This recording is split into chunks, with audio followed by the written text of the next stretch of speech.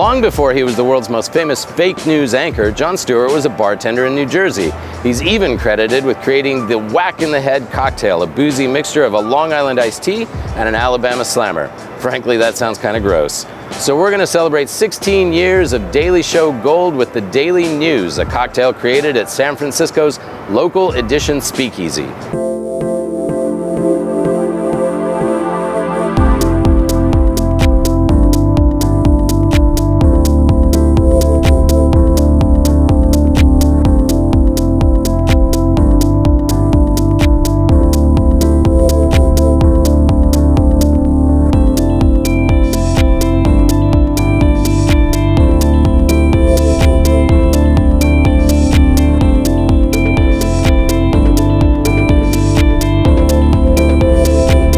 Cheers to you, Jon Stewart. This is our moment of Zen.